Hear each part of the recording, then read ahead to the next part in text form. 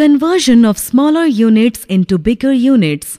We know that 10 millimeter is equal to 1 centimeter. Therefore, 1 millimeter is equal to 1 upon 10 centimeter is equal to 0.1 centimeter. Similarly, 5 millimeter is equal to 5 upon 10 centimeter is equal to 0.5 centimeter.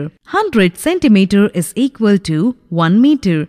Therefore, 1 centimeter is equal to 1 upon 100 meter is equal to 0.01 meter.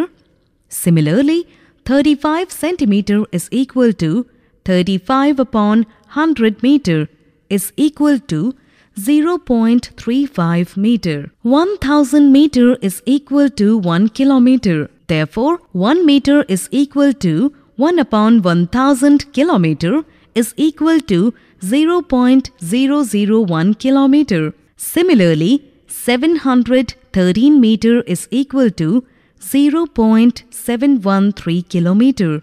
Let us solve a few examples. To convert 9 millimeter into centimeter, we divide 9 by 10 because 10 millimeters is equal to 1 centimeter. Thus, 9 millimeter is equal to 0.9 centimeters. To convert 17 centimeters into meter, we divide 17 by 100 because 100 centimeters is equal to 1 meter. Thus, 17 centimeter is equal to 0.17 meter. To convert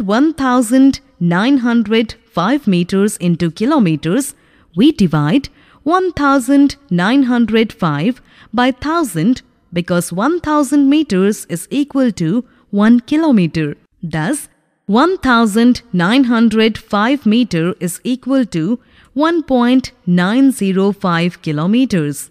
To convert 3 centimeter to millimeters into centimeters, we first write 3 centimeter to millimeter as 3 centimeter plus 2 millimeter, then divide 2 millimeters by 10 and get 0.2 centimeters.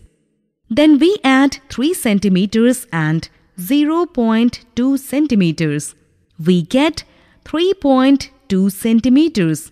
Thus, 3 centimeter 2 millimeters is equal to 3.2 centimeters. To convert 5 kilometer 9 meters into kilometers, we write 5 kilometer 9 meter as 5 kilometer 9 meter, then divide 9 meters by 1000 and get 0.009 kilometers.